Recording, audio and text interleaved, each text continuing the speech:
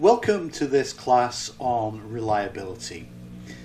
Reliability is one of the two fundamental qualities of tests that we look for. We've talked a lot about validity, and validity is about the extent to which we know that the score we get from a test means what we think it means, whether or not we can make sound inferences, so that we can go on to make reasonable decisions about whether or not the skills, knowledge, abilities, the constructs that the learner demonstrates are relevant to a criterion context.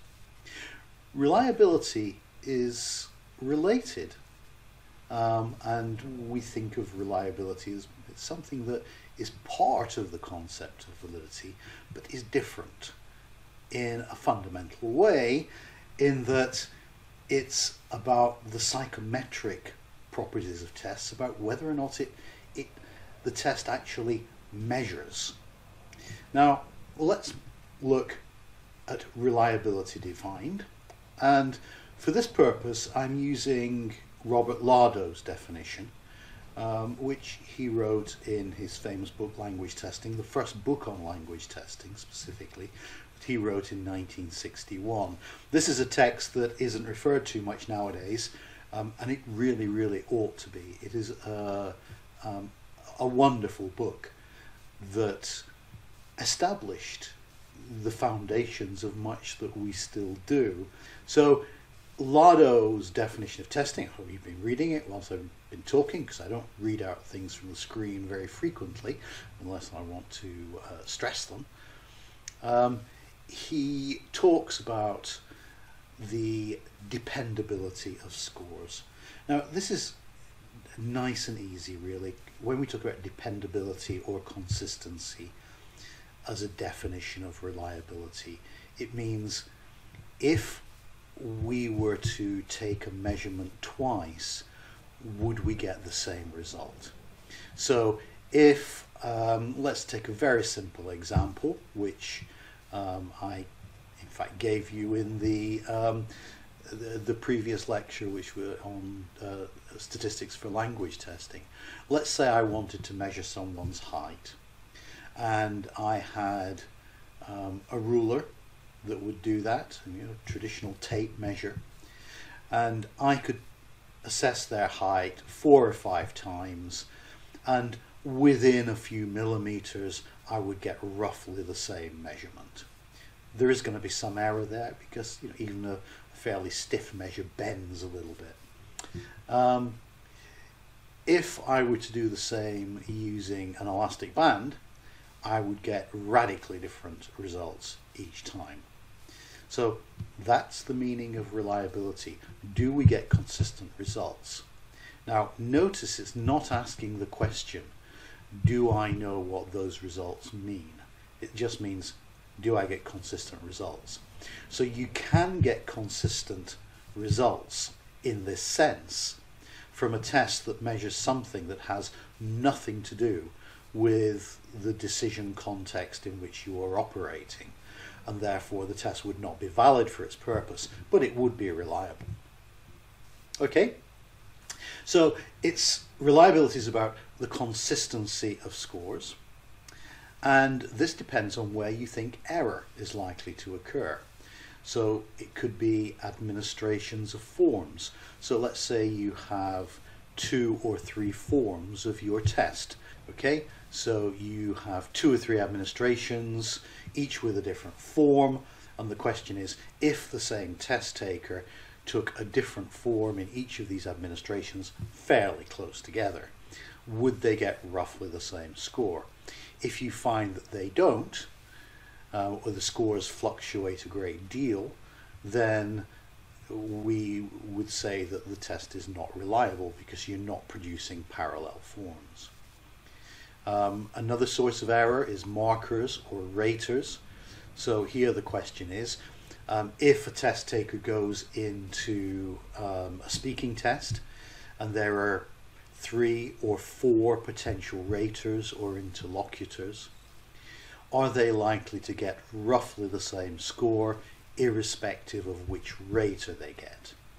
Now, if they get a radically different score, then there is a problem with what we call inter-rater reliability. That is, raters do not agree on their assessments. And these kind of isolating error that we're concerned with in conducting these studies, if it's raters or administrations with forms, these can be quite expensive to set up because you need multiple administrations, you need the test takers uh, to take two or more forms of a test, and then you've got to randomize the order in which they take the forms um, so that you don't get an order effect and so on. These are quite complex to set up. So what test developers have done over the years is they tend to rely on what we call the internal consistency of the test itself. And I'll explain that in a few minutes. But let's go on to the classical definition of reliability, uh, which is X, and you'll remember that X means the score that any individual gets, equals their true score, that is, their uh, it, it is a genuine index of their true ability, but it's plus E, which is error. In other words, the error that is associated with forms, with raters, or anything else that can affect the score of the test and change it because of something that is not related to the learner's ability on the construct of interest. So x, or the score, equals the true score plus error. I'm going to move on to uh, reliability as internal consistency. And in reliability's internal consistency, we normally uh, calculate Cronbach's alpha. Um, and when you read the literature on language testing, and in fact all of applied linguistics where tests are used, you will find that Cronbach's alpha is the statistic that is reported. Now, this is a measure of internal consistency. Now, what that essentially means is that it asks the question do the items that are designed to measure the same construct tend to be answered in the same way by individuals and groups. So what we look at is the correlation between items that are intended to measure the same thing. Now, you can see why this is a measure of consistency, but it's consistency internal to the test itself. It doesn't, uh, it, this measure can only be used with um, closed response items that can be uh, assessed, uh, scored as 0 on 1, that is correct or incorrect. And of course, this was developed by Cronbach um, to assess the reliability or internal consistency of mul- tests that were constructed of multiple choice items. now, um, again, I have uh, a spreadsheet, an Excel spreadsheet that calculates Cronbach's alpha, and it asks the question, to what extent are these items related such that if a test taker gets any particular item correct, that is, they show that they have the ability on this construct, do they tend to get the other items correct in the same group? Right, now what I'm going to do, um, course you download this either from the URL that's on the screen in front of you, or you can scan the barcode and just go to the uh, statistics page. Click on the Excel download uh, button, uh, which is the green one on the page, and opposite Uh, you will also, on the web page, you'll also find a description and further reading um, if you want to know more about how Cronbach's Alpha actually works. Um, and I'm not going to give you the formula for this one um, because we never actually calculate Cronbach's alpha by hand. Um, it is possible, um, but it's uh, quite tedious.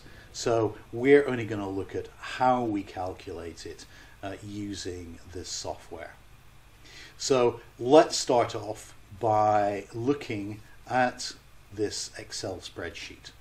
Right, uh, here is the spreadsheet and as you can see um, I've already populated it with zeros and ones. Um, zero means that um, the person has answered the multiple choice item incorrectly and a one means that they've answered the item correctly. So the zeros are all incorrect responses. Um, and looking at item 2, you'll see no one has answered that item correctly. So its, its facility value um, would be uh, 0, of course, um, meaning it's just far, far too hard. And its discrimination would be 0 because it's not separating out the better and poorer students. So we can see that's the case for item 2 even without doing uh, the kind of item analysis that we've already looked at. So we've got all of these ones and zeros. And once we've put our ones and zeros in, um, in this particular case, down here, we've got the data input and we've got a second uh, tab at the bottom left, which says results. And with this, all you do is put your zeros and ones into the spreadsheet so that you've got a zero and one uh, matrix. And then you click on results. And it tells you that the um, average, the mean, is 5.2. It also gives you the standard deviation. Um, and don't worry about the SEM at the moment, we're coming to that in a while. But alpha is 0.59 um, and we could round we well I actually I would probably report that as 0.59 but you could round it up to 0.6 what does that mean? Well it means that approximately 59% of the variance in these items is uh, variance reliable variance associated with whatever these items is, are measuring. But that means we have 40%, or more accurately 41% of the variance, which is associated with some kind of error. And the question here is, is that the kind of level of error in our assessment or measurement that we are prepared to live with. Now, as I'm making this video, um, of course, uh, we uh, hear on the news every day um, about COVID test and trace and the testing that is done and the reliability of COVID tests. Those tests have a reliability of 0.92 and that's really very, very good it means that there, if you test positive for COVID 19, the chances are almost certainly that you have COVID 19. With a 0.5, there is a huge chance that your score on this test would be different if you took the test again. There's 40% error in the system.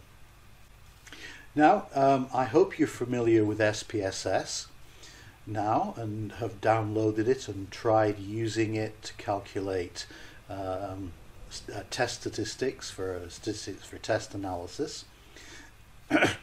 and here um, in SPSS, um, I have uh, a data view, and you will see that these are exactly the same zeros and ones that I had in the spreadsheet. uh, which you have downloaded and I'm doing this just to show you that you actually get the same results whether you do this with the spreadsheet or you do it in SPSS. I'll just click over to the variable view for a moment. Uh, you can see I've got the 10 items, uh, no decimal places, and you see I've classified this as nominal, and the reason is it's either right or wrong, and that's nominal. You can either be right or wrong. This is not a scale. The items together are a scale. They create a scale. But each item is actually nominal. Now, how do we calculate alpha in SPSS? Well, first of all, we go to Analyze. And last time we looked at descriptive statistics. This time we're going to go all the way down until you get to Scale. When you get to Scale, the top one, the top uh, item in the um, next menu is reliability analysis. Click on that and I've already done this, the items. I've moved them from here. Normally they would be in here in the left hand column. You click on them and move them over to the right hand side. You will notice here it says alpha and that's Cronbach's alpha. There are other kinds of reliability in there, but alpha is the one we're focusing on because it is the one that's used in applied linguistics and language testing most frequently. If we click on the statistics button at the top right, we want descriptive statistics for each item and the scale that is created by all the items together. You can add means as well, but I'm not going to click on that.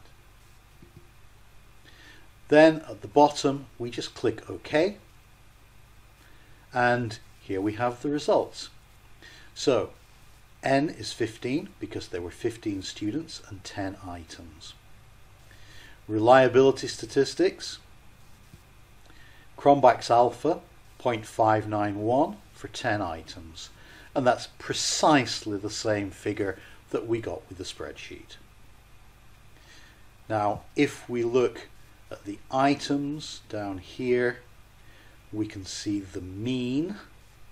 Now, the mean here is exactly the same as the facility value that we would have got from the spreadsheet that you've already looked at that does item facility and point biserial correlation, but SPSS does not do point biserial correlation. Remember on item 2 we said no one answered it correctly, so the facility value is 0. Um, you can see items 7 and 8, they've got facility values in the center. Item 6 um, is fairly poor because it's far too difficult. Okay, and it tells you that the average score on the scale, that is the 10 items, is 5.2. And it also tells us here the standard deviation. So this also gives us descriptive statistics for the test, that is the scale that is created by these items. So Cronbach's alpha tells us that we have approximately 59% of reliable variance uh, and approximately 41% of error. And we would then do item analysis, we would look at the point biserial, and we would start looking at these and saying, okay, what are the problems here? Which are the items that we would need to alter? and we could push Cronbach's alpha up by improving our items. There are two things that push Cronbach's alpha up. It's the quality of the item itself and the number of the items in a form. So if you increase the number of items, even if you don't improve the quality of the items, Cronbach's alpha will go up, and that's because you're collecting more information. So, uh, of course, if you have lots of very poor items, Cronbach's alpha will remain low, uh, and you Uh, increase the length of your test, and therefore the time it takes learners to do the test. Remember, and this is important, that you can only use Cronbach's alpha to assess the reliability of items that are measuring the same construct. So let me give you an example. If you have a reading test that has 10 items that are assessing um, reading, uh, say skimming, and 10 items that are assessing the ability to understand complex vocabulary, those are two different constructs. If you put the items together into a reliability analysis and the items are genuinely measuring different constructs, Cronbach's alpha will come down because there is there should be little internal consistency between items measuring different constructs. So how do we interpret reliability? Okay, so um, anything above uh, alpha 0.9 is excellent. So in other words, we're getting you know 90% uh, plus reliable results. That is internal consistency. This would also be true if we got 90% agreement between raters. It, it, in social sciences, this doesn't get much better uh, than 0.9 plus. Um, in other disciplines, um, particularly medicine, you want tests that detect disease or viruses, for example, well in excess of 0.9. But we're dealing with human judgment, with the construct, human construction of tests, and this is very, this is this is excellent stuff. As you come down, uh, you've got uh, 0.9 to 0.8 this is the good range. Frequently, language tests are released and are used in the 0.8 to 0.7 range, and we say that's acceptable. But I am not personally convinced that only having between 70 and 80% reliability um, is appropriate, and I'll give a reason for that um, when we come on to the next section. Um, as we go down, um, we get questionable, poor, and completely unacceptable. Um, you see the results for our test uh, with our 10 items was actually in the poor range at uh, 0.59, uh, 0.6, 0.59. So we would have to do a lot of work on those items uh, to get them up to um, scratch. There's a hazard warning with this, and I've already talked about it. Um, really concentrate on the quality of items rather than the number. Um, if you had a multiple choice test with 100 items, you would get decent internal consistency, but there is no guarantee that the items are really very good at all. Um, so you still need to do your item analysis and the reminder only use um, uh, alpha with items that are measuring the same construct. Now, um, the next section is about the standard error because the most important use of an estimate of reliability, uh, particularly alpha, is that we can then use it to estimate the amount of error associated with a test score. And this is exceptionally powerful because it helps us to understand the uncertainty um, that we have in making decisions that are associated with a test score. So it helps us understand how we make inferences and how we make decisions. So this is about living with uncertainty. And here you can see I've got another formula. But now this is really, really straightforward because you already know all of this stuff. Now, the scores here are from the test that we looked at in the previous lecture uh, when we were talking about um, statistics for lang uh, assessing language tests. And if you remember, we had um, a, a, a test that had 30 items, and you remember the mean was uh, 11.2, and the standard deviation was 7.5. Now, in that test, I'm not going to do it now, but in that test, the reliability was actually 0.95, which of course is excellent according to our um, rules of thumb. Now the standard error tells us how much error there is in the test. And it is the standard deviation square root of 1 minus r. Now there are two ways of doing this on a calculator and I will show you how it's done and then I'll show you again in SPSS. So, standard deviation 7.5, reliability 0.95.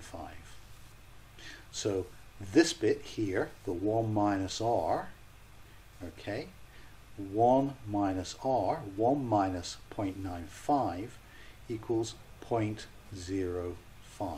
So we've got 0.05 in here. On a statistical calculator, you can do it one of two ways. 7.5 square root of 0.05 or you could do 0.05 7.5. Doesn't matter which way you do it, the standard error is 1.75. Now that in itself doesn't help us a lot but what we can do is start to express this, the standard error, in terms of the scores on the test. And how we do that is as follows. We take the standard error and we multiply it by 1.96 because 1.96 is the 95% confidence interval. Now, just take my word for it that it is 1.96.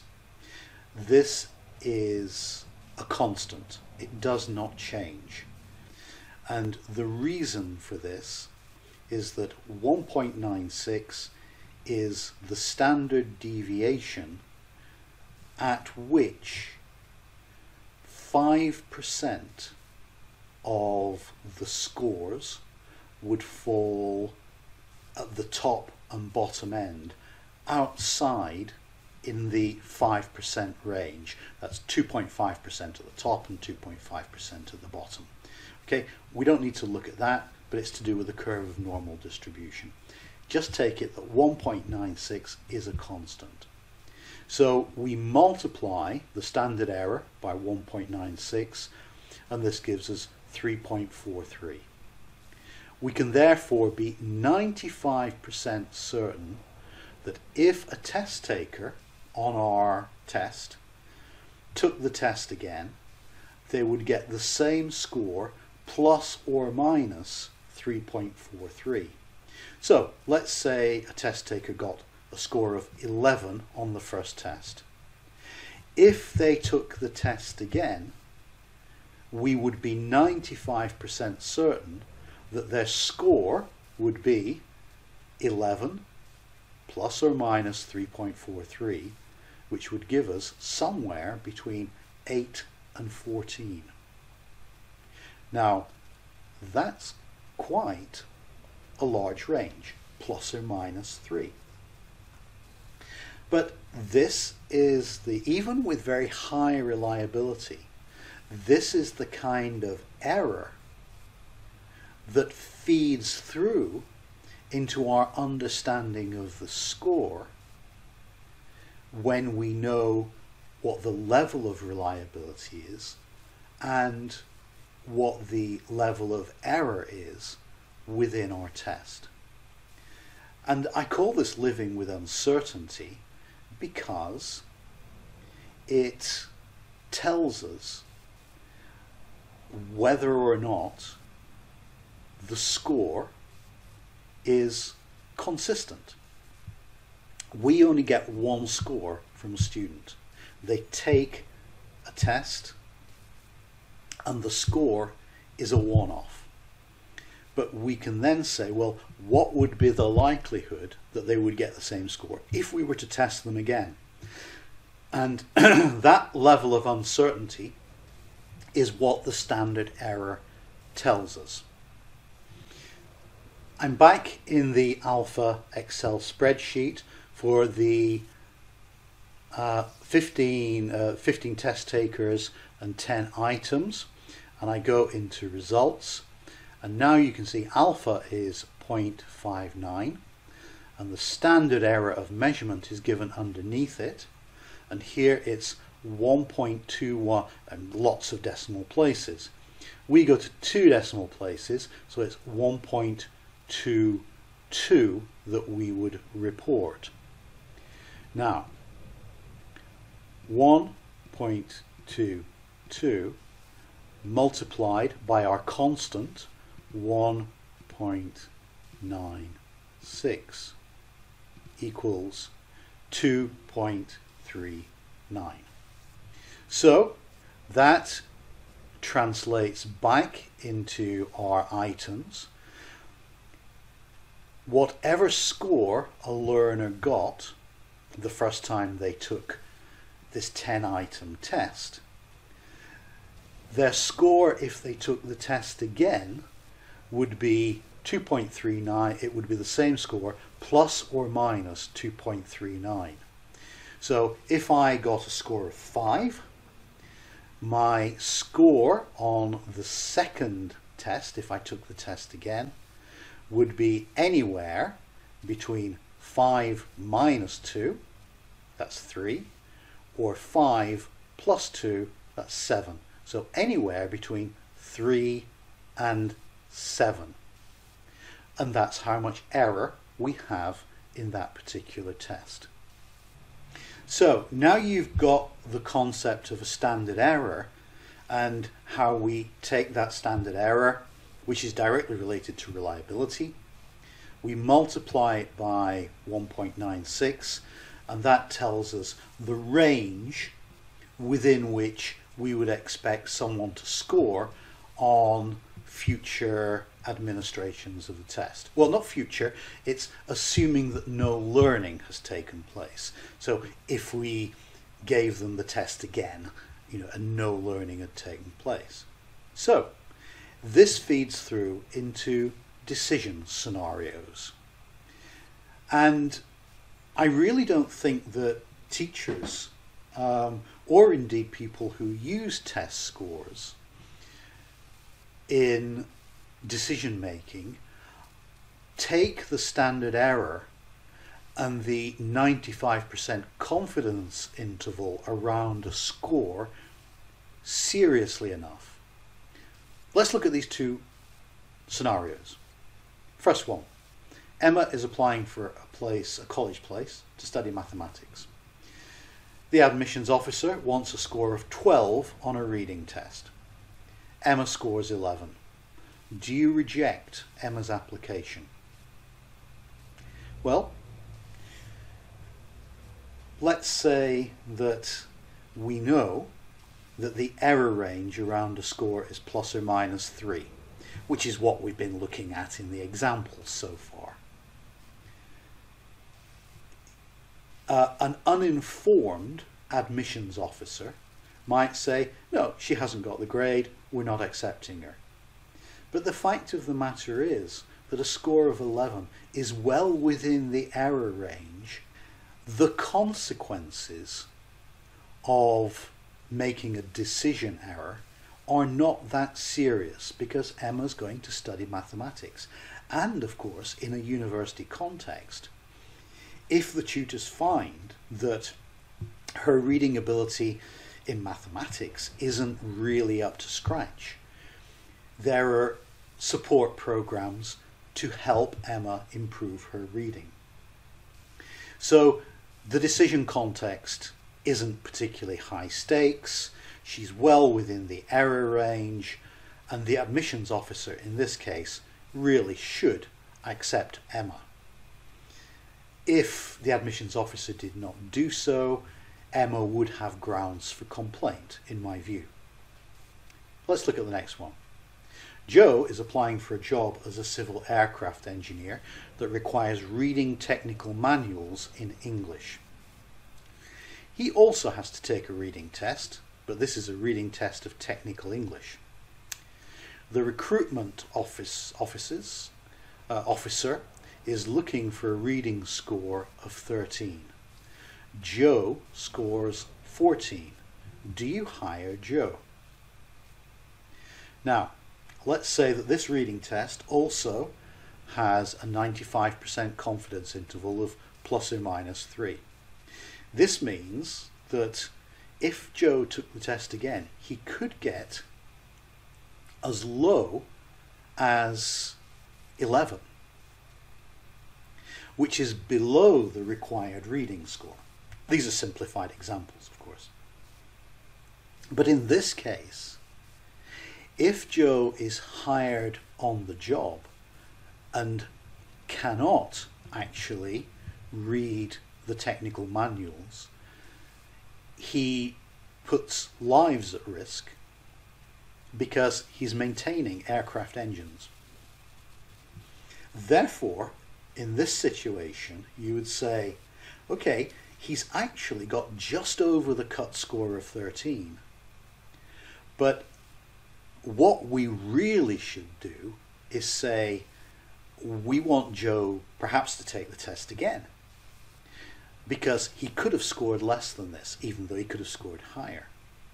Or you could say, well, let's get Joe in and see how well he can do some of the tasks. And you might have a, a trial period where he's not actually reading and maintaining uh, aircraft engines, but he's working with someone who does, and they are watching him while he's attempting the job. Now, here you're you're looking at a, a situation where you're doing further evaluation to see whether or not the score of 14 is a just score, a true score, um, or whether or not he's n- not up to it. You may, even if he isn't, you may then decide to invest in training. After a couple of weeks, you may decide to hire him. If you don't have those resources, you may just say, no, 14 is too risky, we will not hire Joe. You can see here that reliability and levels of uncertainty feed directly into our understanding of the inferences that we draw from scores and therefore the decisions that we make. And that's why reliability, consistency, is understood as a component of validity. Unless we can demonstrate reliability and understand our levels of uncertainty, it's very difficult to make sound decisions. This is the third and final section. Um, and in this section, we're looking at reliability as agreement. And this can be between times or administrations of a test, or between raters. And raters are, of course, the human judges uh, in performance tests. Um, Cronbach's alpha is for closed response, and those, of course, are tests like multiple choice. And we're just looking at the response to an item. When it comes to performance tests, tests of speaking or of writing, um, we're looking at raters, human judges, um, and in this case, reliability as agreement can be between raters, and that's when we ask whether one rater agrees with another rater, in other words, the consistency between raters, or indeed the consistency of one rater with themselves marking or scoring the same language samples, and that's intra-rater reliability. So correlation is about association, and here we talk about covariance. In other words, it asks the question, as the scores increase on one variable, do they increase on another variable? And this is about administration, the example I've got here. And the, we're asking the question, are the scores consistent over two administrations of a form? So the same learners take the same form uh, at two times and we then plot the scores from the learners over time y and time x um, and see what scores they get. And as you can see from the uh, scatter plot here, there is a linear relationship between the scores in time y and time x. Low scores on one time tend to be low on the second time. There's a bit more spread as you go up, so the learners who are get the higher scores, there's a little bit more spread up there, but it's nothing to be hugely uh, concerned about. Um, so we can see that uh, here we've got quite strong covariance, um, a line uh, going from the bottom left up to the top right. Um, these do correlate, and there we here we can say our test is pretty reliable. Um, I'm going to show you how to calculate the correlation coefficients in a, a moment, uh, but it, this shows that it's pretty reliable just from the scatter plot, um, uh, and this means that in over administrations um, we have managed to reduce error, and that's asking the question, you know, the, the way in which we set the rooms up, the way in which the invigilators operate. You know, have we got all of that under control? Um, and do the learners tend to respond in similar ways across time? If that's the kind of error you're interested in. Okay, now a correlation is expressed as a number between minus 1 and plus 1. If we have a correlation of 0, that means there is no relationship between the two variables. If the uh, correlation is 1, r equals 1, that means as the value goes up on the first variable, it goes up in exactly the same way on the second variable. So all of those crosses form an exact straight line from the bottom left to the top right of a scatter plot. If it's minus 1, that means as the uh, score goes up on one variable, it comes down on the other so that means they are inversely related. Now, most of our correlations are between 0 and 1. Variables do tend to be related. And how do we understand the strength of a correlation, the strength of the association between two variables? Well, we just take the correlation coefficient and we square it. Now, I've got an example here, which is if correlation r equals 1, 1 squared is 1, so the two variables overlap completely. In other words, one of the variables is unnecessary. And in the diagram, the two boxes would be just one box over each other. Now, this is an example where the correlation is 0.32. And if we square 0.32, so 0.32 squared is 0.10 or 10%. And that means that the two variables overlap 10%. Now, if this were two raters, for example, then uh, this would mean that when the raters give scores to students on a speaking assessment, and you use two raters, they only agree 10% in 10% of cases. And the rest of it is disagreement or error because we are defining disagreement as error and reliability is agreement. That is the true score where raters agree. So that's the strength of association. Let's look at precisely that example. Here we have two raters and the raters have been asked to mark 20 scripts. Um, these are scripts that learners have been given an essay prompt. They've had to write, produce a piece of writing, and we've given the scripts to two raters and asked them to score on a scale of 1 to 6. So you can see here that with script 1, rater 1 scores 2, rater 2 scores 2. They agree perfectly. For script 2, rater 1 is given 5 and rater 2 is given 2. That's quite a lot of disagreement in there.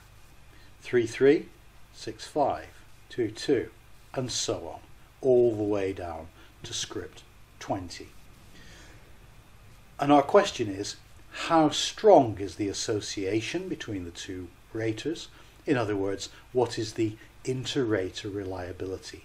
Are they consistent? Because consistency is our definition of reliability. Okay, so they mark them, and I can tell you now, I'll show you how to calculate this in a second, but R equals 0.83, that is 83, uh, the, the association is 0.83 and then we square r to understand it as a percentage and r squared is 0.69 so they have 69% shared variance. And that means that 31% is different and if you look at the scores and you go back you can see where that 31% is and I think you know, a lot of it comes down to that script 2. When you find that you have, say, 31% error in the system, as we have here, sometimes there are examples, and you can go back and you can get hold of script 2, and you can say, right, is there something different about script 2? that has made these raters disagree. And you can go back to the two raters and say, why did you give five? Why did you give two? It may be that they're using a rating scale that um, they interpret differently. It may be that um, the descriptors on the rating scale do not describe some of the scripts that you're getting. Right, on the screen now you can see SPSS with um, exactly the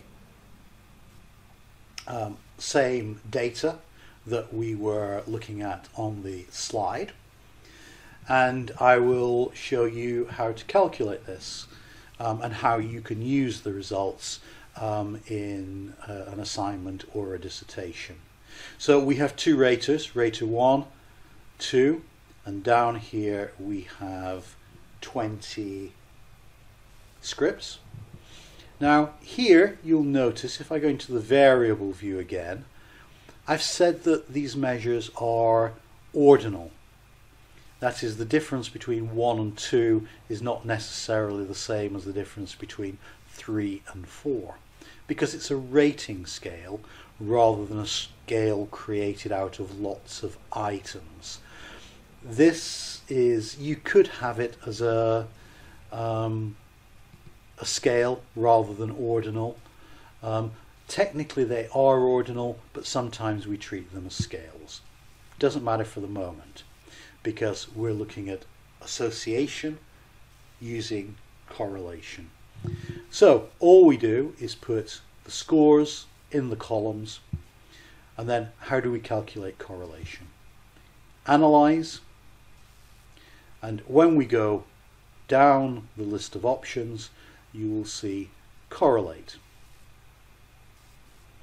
We in applied linguistics and language testing use bivariate correlation so I will click on that and the correlation that we use when we have uh, scores on scales or we're uh, looking at the association between say reading tests and so on we use the what is called the Pearson product moment correlation.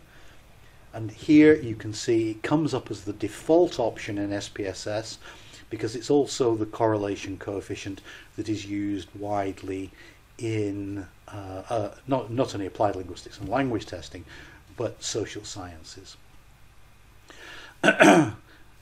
Rater 1 and Rater 2, I've already put them in the right hand box. They do start off here, but I'll shift them over. Rater 1 and Rater 2, these are our two variables. And then I click on OK.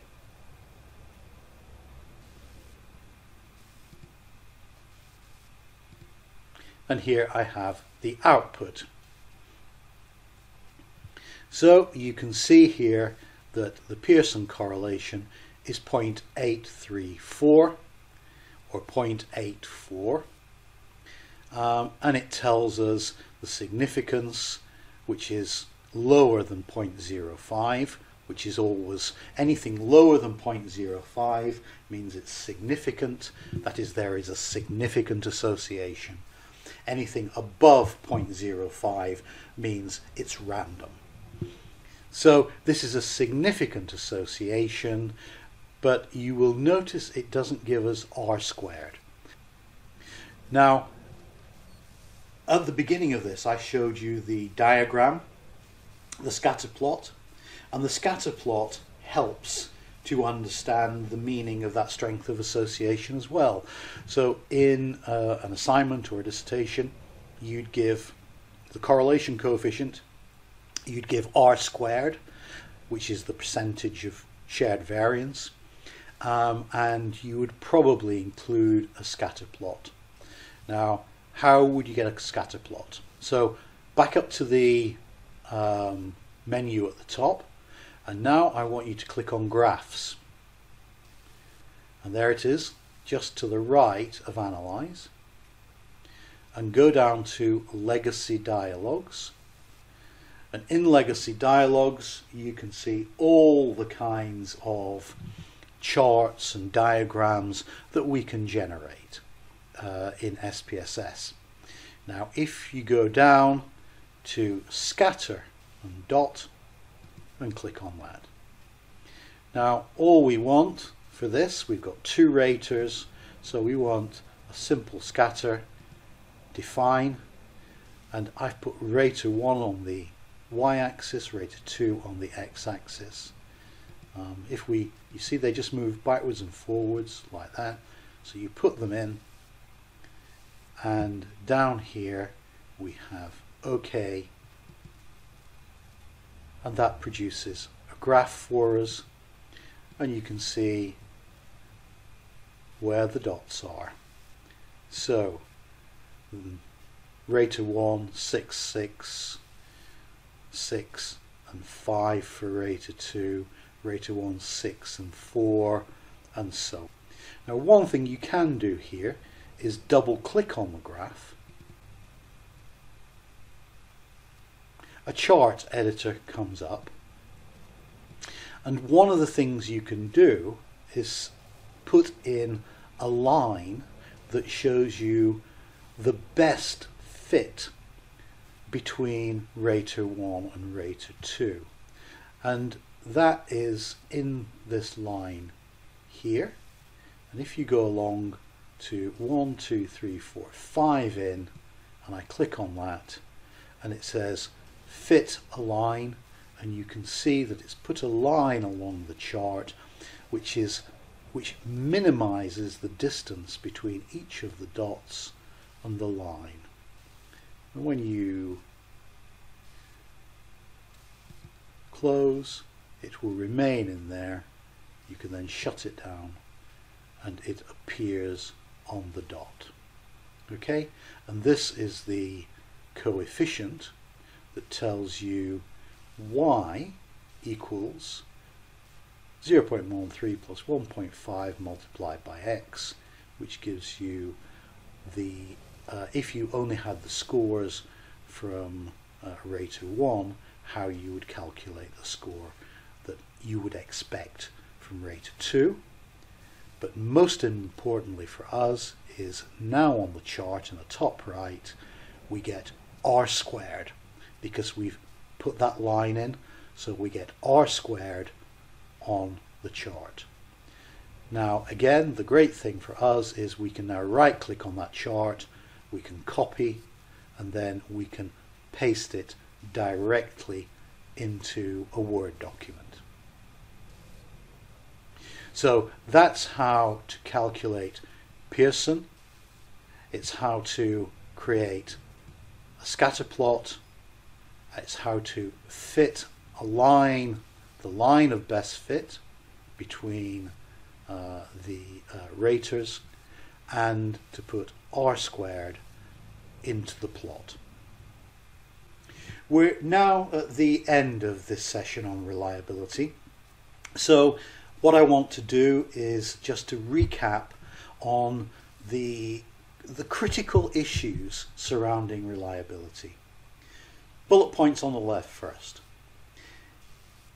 We frequently calculate reliability as internal consistency, and that's usually when we're dealing with closed response items and tests. Uh, an internal consistency, the most important measure of which is Cronbach's alpha, which is endemic in the applied linguistics and social science literature. The standard error is really, really important, and I despair sometimes when I see reports uh, that have ha- have a, a quantitative methodology component and the standard error is not reported. Um, if they give me the data, I can calculate it for myself, but frequently I don't have the information that allows me to calculate the standard error. This is a fundamental failing of, uh, of literature in our field. The standard error is critical in these kinds of assessments to understanding how much error there is in our measurement. The third one is we treat agreement or high levels of association as consistency and any lack of consistency as error. And that's particularly the case if we have multiple forms of a test, agreement between forms, um, agreement between administrations, or agreement between raters. And those are the examples I've given you in this class.